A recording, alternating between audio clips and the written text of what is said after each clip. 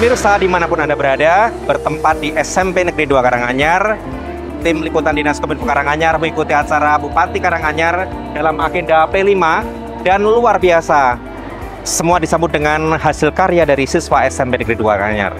Dan PJ Bupati Karanganyar berkenan untuk memberikan motivasi ke siswa kelas 9 dan kelas 7 beserta kelas 8. Inilah breaking news Diskominfo Karanganyar. ke Jakarta naik kereta. SMP 2 tetap paling ku cinta.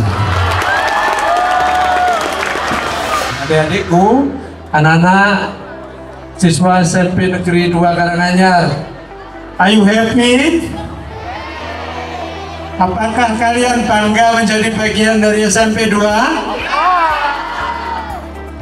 Saya perkenalkan nama saya Timotius Suryati. Saya jadi murid SMP Negeri 2 Karanganyar tahun 85 sampai 88. Kita mau bercita-cita menjadi negara Indonesia emas tahun 2045. Tulang punggungnya adik-adik semua. Siapkan dirimu mulai hari ini untuk berjuang memberi yang terbaik untuk bangsa dan negara.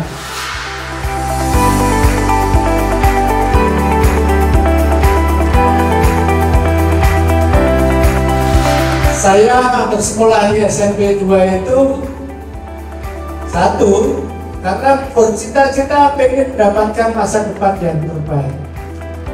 Maka memilih sekolah yang relatif agak jauh karena rumah saya ada di Karangpangi dari apa yang sudah kami amati dari kecil saya sudah punya cita-cita yang besar. Saya nggak mau menjadi rata-rata. Saya harus memiliki sesuatu yang bisa saya uh, terbuat untuk keluarga saya, untuk masyarakat dan untuk diri saya sendiri.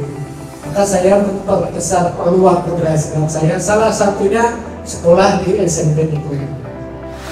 Di acara SMP 2 Karanganyar diadakan gelar karya P5 yaitu tema kewirausahaan yang diadakan sekarang ini. Dalam rangka P5 kali ini kelas kami menampilkan berbagai macam produk tradisional seperti cat, aksesoris dan berbagai macam makanan seperti makanan tradisional dan makanan modern.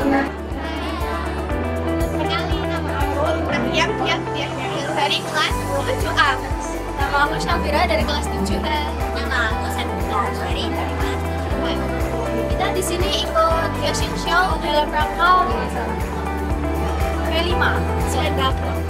Ya kita di sini fashion show pakai batik ekoprint dari, dari tahun dari tahun ekoprint Ayahin yang yang buat dari donat dan dijahit